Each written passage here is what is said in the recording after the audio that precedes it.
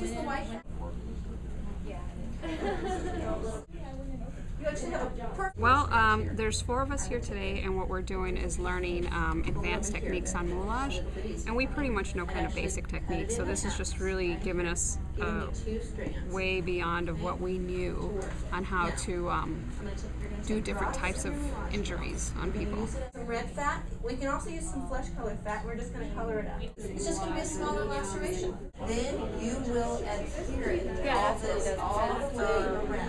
When they do come across these types of injuries, um, I, I'm a firm believer that if if they come across these types of injuries and they've seen it before, even if it's in a moulage situation, that maybe it won't get them so, you know, freaked out for lack of a better word.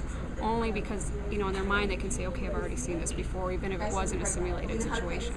This same piece here. You wouldn't have. We've added your